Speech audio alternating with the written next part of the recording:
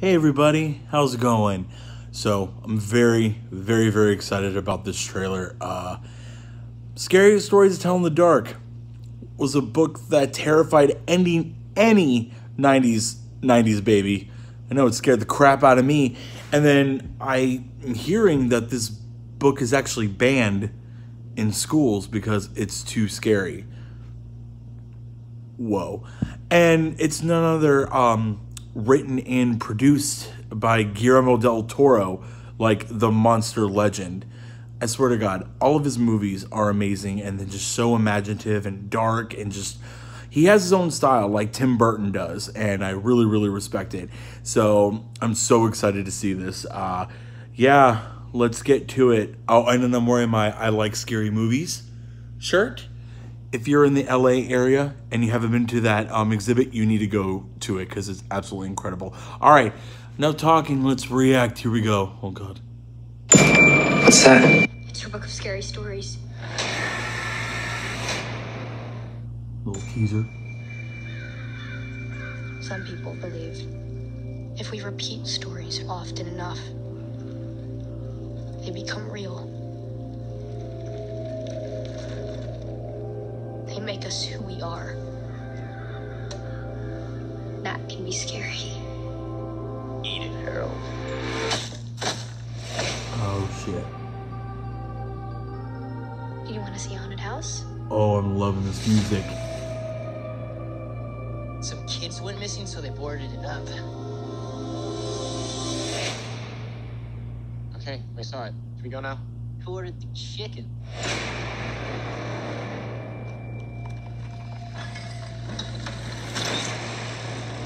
Yeah. What's that? It's a book of scary stories.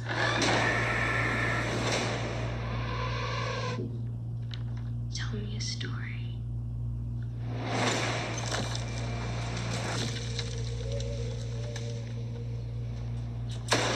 Oh, fuck that noise. Hey, what's going on? Tommy's missing. Tommy's name was in the book. There's no way it's actually connected, right?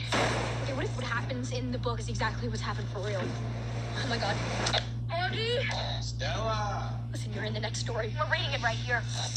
It's a corpse looking for her missing toe.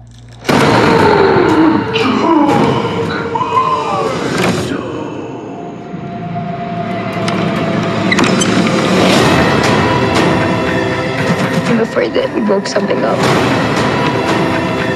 You shouldn't have taken the book. We've got to stop it.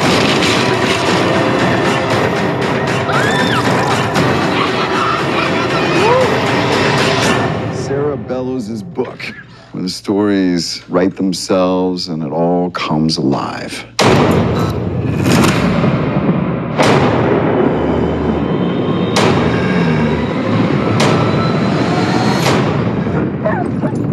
The jangling man is coming.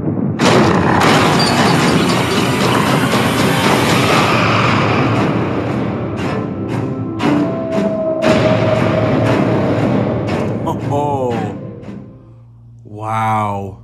Oh, from Academy Award winner Guillermo del Toro. Man, that has him written all over this film. Holy crap, that looks pretty good. It looks pretty good. This film is not yet rated, so it's obviously going to be PG 13 or R. I. Is it considered a kid's book or a you know, children's novel? I don't think so. It's probably for teenagers, so they'll probably go with the PG 13 route so they can, I know, up the box office because if they have an R, it's going to be very, very limited. So, hope they're smart and do a PG 13. But I kind of want an R rated version of this because, geez, even the artwork alone from the novel is terrifying. It's absolutely terrifying.